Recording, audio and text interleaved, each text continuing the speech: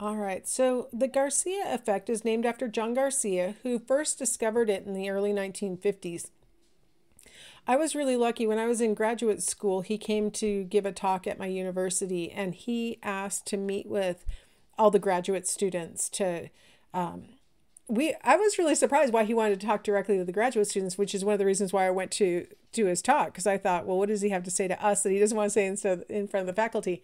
Um, but one of the things he told us was that he was trying to encourage us to to stick with our research and to stick with our um, you know, if we know that what we've done is correct, you know, stick with it. Don't be, um, you know, sort of bullied out of submitting research and stuff like that because um, his findings were criticized. He could he said it took seven years to get the Garcia effect data published, and he got nothing but pushback from journals telling him that he must have falsified the data because there's no way that they were organized the way that he said that they were. And um, now he finally got it published. A bunch of people have replicated and, uh, and things over the past, you know, at the time we were talking to him, at that time it was about 40 years, um, to the point where now it was such a confirmed finding that now it's called the Garcia effect. And so the, he was really trying to encourage us that sometimes you have to push. Um, if you know what you've done is right, you, sometimes you have to push. And so I really appreciated that he wanted to talk to us about that um, because you know, graduate school is pretty hard, I'll just tell you right now. And so it was very nice to have his encouragement. So, what is this effect that was so controversial? Well, he discovered that the, um, the neutral stimulus can precede the unconditioned stimulus by much longer durations of time than um, you know Pavlov and some of his you know close contemporaries asserted. They were saying that the that the neutral stimulus must precede the unconditioned unconditioned stimulus by like seconds, or else the learner won't make the association. So I'm going to give you this example that I started to accidentally show you, which is okay. Let's imagine that you're at the fair and you eat some cotton candy, and then you go on a really spinny ride. I'm calling the spinny ride um, unconditioned stimulus because sometimes it makes you sick, right? um, to go on a spinny ride. But here's where the Garcia effect comes in. If you go, if you eat something, and then something that naturally makes you sick occurs, and then within like the next 48 hours, you actually get sick, your brain will kind of file through the last things that you ate and tend to blame it on the last thing that you ate rather than the thing that actually made you sick. So, for example, if you're at the at the um, fair and you eat cotton candy, you go on a spinny ride and you throw up, if you're at that, it's that close together and everything's all, you know, happening right in sequence, you're going to say, oh my gosh, that spinny ride made me throw up. But if, let's say, you eat at, sorry, my dog's barking, I think my husband's home. Um, if you eat at McDonald's and then two days later, up to two days later, you're throwing up, and nobody else in the house is sick, and the only thing that you've eaten that nobody else has eaten was the McDonald's, you're probably going to blame it on the McDonald's. You're going to say, I figured it out. It's probably the McDonald's. The McDonald's would be the neutral stimulus. It's food that you have eaten in the past. The getting sick, um, whatever the mechanism is for getting you sick, either it's a foodborne, um, the unconditioned stimulus could be something foodborne, or it could be that you were getting, you know, the flu anyway, and that's why you're throwing up. Or or you're pregnant or you know like there's other reasons why you might be throwing up but as you are in the process of throwing up you'll be filing back trying to figure out what did i eat that nobody else ate that i can blame this on you're welcome that i got that um, pumpkin picture instead of actual vomiting aren't you what happens is that the neutral stimulus becomes the conditioned stimulus and illness to that conditioned stimulus is what we would call a taste aversion you know, it, it fosters what we call a taste aversion. So once you've thrown up after having eaten that food, you're really likely to say, I never want to eat that food again. So I used the example of cotton candy because I actually had a student who has a taste aversion to cotton candy. And there could there be anything less likely to give you foodborne illness than cotton candy? It's just spun sugar. It's got like literally nothing that can go bad in it. But because the person ate cotton candy and then got sick within the next day, was like, Cotton candy made me sick. I never want cotton candy again. it's a great example of how ridiculous our taste aversion sometimes can be. We will blame things that can't possibly be the reason why we're sick. Sometimes, though, it is possible that that thing's what made us sick. Um, you know, maybe you ate. Uh, one time, my husband ate a different pizza than the rest of us. He he ordered his type, and the kids and I ate something else. And the next day, when he was throwing up, he's like, What did I eat? And we came to the conclusion that the only thing he had that was different from the rest of us was this pizza. And uh, man, he had a taste aversion for years for, for pizza in general to start with. Then it was pizza just at that pizza parlor, that type of, you know, that brand. And then he ultimately was able to eat all pizzas except for he didn't want the sausage. He didn't want Italian sausage on it. He thought that's what made him sick. Ultimately, now he's completely over it. But it took years to go from I think it's that pizza's fault to I'm willing to eat exactly that pizza again. It took years. And so this Garcia effect, I think a lot of us can re- relate to it. If you've ever eaten something and then, you know, naturally got sick for some reason, right? Could be um, chemotherapy types of treatments or um, some kind of viral, you know, norovirus or something like that. Um, a lot of times the last thing you ate beforehand gets blamed for the, for the fact that you're sick and you don't want to eat that food again. Ideally, ever, your brain thinks initially, I'm never eating that again, um, but maybe just for a period of time. Um, the Garcia effect has provided a way to um, reduce wolf predation on sheep.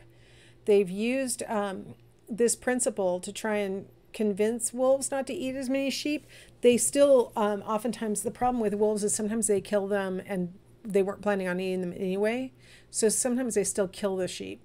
But um, what they do is they take a sheep carcass and they put lithium chloride, which is a chemical that'll make you throw up. It doesn't really hurt you, but it makes you throw up. And they put it in the carcass. So when the um, wolf eats from a sheep carcass, they get sick they will make this association between the sheep carcass making them sick and they'll avoid sheep for a while. It's not permanent. And I mean, it's so easy to go shopping at the sheep store compared to actually trying to go catch something out in the wild that oftentimes they'll go back and they'll try again. And like I said, sometimes they kill the sheep for reasons other than eating. Um, and so it's not perfect, but it helps to reduce some of the predation that's, you know, at least hunger based or food based. Uh, so that's the Garcia effect. And so you can imagine um, that this principle drives a lot of, um, you know, our food preferences for sure. You know, like our individual idiosyncratic, you know, personality kind of like um, things that we like or don't like. It might have something to do with experiences that we've had that are very much like the Garcia effect. All right. So now when we specifically attempt to apply classical conditioning to personality, we can say that you know, classical conditioning can be used to explain the emotional aspects of personality, like neurotic behavior, things that we are anxious about, things that we, you know, if you tend to have, you know, worry, it might be traced back to classically conditioned associations that you have. Um, really early research in psychology, you guys might remember a study with John Watson and uh, a little toddler named Little Albert, um, where John Watson induced a phobia in Little Albert. Um, he found out, Watson found out later that you really can't induce phobias in older people, like college students. Like it doesn't really work. Apparently, you know, if you already understand how the world works, the phobia would be really hard to induce. But in a toddler, an association can be made between something scary and something neutral, and so that the neutral thing becomes fear fear inducing and uh, it'll stick with you probably for your whole life and you don't know why that's the that's the um, kind of scary thing about classical conditioning is that it can cause these sort of unconscious responses that are happening you know outside of your awareness you're just having this response and then superstitious behavior like feeling like you have to knock on wood if you um, if you say something that might invite you know, disaster or something, you have to knock on wood to get rid of it. These kinds of superstitious behaviors uh, might be a function of associations between things that happened in the past, and and our brain is telling us, you know, oh well, you better do something to, to negate the power of having, you know, associated two things. You know, uh, maybe you you're inviting disaster. So superstitious behavior can can oftentimes be traced back to classically conditioned um, associations. So you know maybe not the healthiest parts of our personality oftentimes might be attributable to classical conditioning. Now, I just mentioned John Watson, and he was really, you know, in the field of psychology in particular, not, you know, an accidental physiologist or whatever. Um, he really was the founder of what we call behaviorism in psychology. He said, Give me a dozen healthy infants, well formed, and my own specified world to bring them up in, and I guarantee to take any one at random and train him to become any type of specialist I might select doctor, lawyer, artist, merchant chief, and yes, even beggarman and thief, regardless of his talents, penchants, tendencies, abilities, vocations, and race of his ancestors. He said this in 1930. Watson really believed in the power of the environment to shape us into whatever kind of person that the environment demands. So he wasn't just trying to be super hyper um, powerful himself. He just thought the environment is that powerful. So he's a, he's credited with founding the School of Behaviorism in the 1920s. Um, he applied these classical conditioning principles that Pavlov introduced on animals. He applied them to humans. He took what we call a tabula rasa ap- approach, which is where you sort of assume that a person is born a blank slate. So I just said tabula rasa approach. It woke up my phone and caused Google to search for it. No, your phone's not listening to you all the time, is it? Um, that's not annoying or creepy at all. Uh, so, tabula rasa. So, the assumption that Watson carries with him is that you were born with absolutely no aspects of your personality intact, that every single thing about you is a reaction to the environment in which you've been raised. So think about that a little bit and think to yourself, do I agree with that or do I not agree with that? Was I born a completely blank slate and it was complete it was strictly a result of the environment writing on me that determined how I am? Or did I come with some predispositions and some factors that were inherently part of me? I mean, we just finished the, the chapter on biology before the exam, and you might be thinking, man, this is completely opposite of what we were just saying. So this is really important time to wrap up and remind that um, personal this class is going to have a lot of these circumstances where one theory says something exactly and completely the opposite of another theory. And you know, there's really not a lot of like closure on which one is right or better supported by data. Um, so it's kind of complicated. So he founded this school of thought called behaviorism. And one of the things that he argued is that um, as scientists, psychologists should not attempt to study anything that they can't directly observe. So we shouldn't attempt to study things like the mind. We shouldn't ask the participants what they think about anything or ask them to describe their typical behaviors or anything like that because we can't directly see it.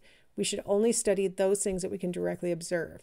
So that's going to be really limiting, especially if your interest is something like personality, right? Because typically personality is something we can see the effects of your personality, maybe through your behavior or your speech patterns or what you write down or something like that. But we can't directly see your personality and we can't see you in every context. So we may only see a window of your personality if we observe you directly, you know, in our lab or something. But uh, in every other circumstance, you might behave differently. Um, so it's quite the challenge to try and study a topic like personality through the lens of behaviorism but we're going to try. And I think I did an okay job of tying classical conditioning together with personality. Um, let's go ahead and take a little break here. Oh, I see I have an animation. And we'll come back and we'll talk a little bit about how behavioristic principles might work on us humans.